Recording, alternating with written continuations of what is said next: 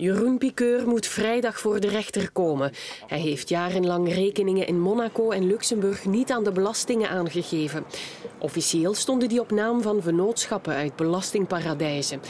Een constructie die niet per se onwettelijk is, zegt Piqueur.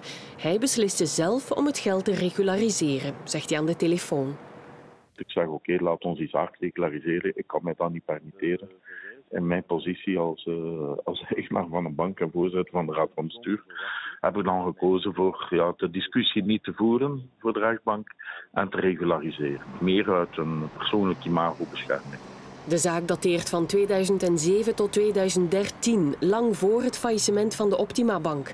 Maar tot op vandaag heeft Piqueur die achterstallige belastingen niet betaald. Zelf zegt hij dat hij dat net deze maand wou doen. De bedoeling was uh, de betaling uit te voeren uh, nu in de loop van de maand september.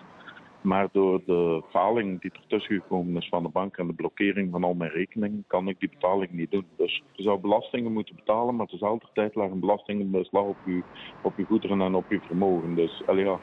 De aanklager eist van hem 2,2 miljoen euro en een beroepsverbod van 10 jaar.